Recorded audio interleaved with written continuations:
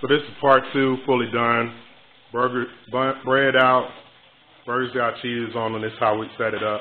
You let your guests come in, pick their own burger, just like that. Last thing going is the french fries, cook those to order.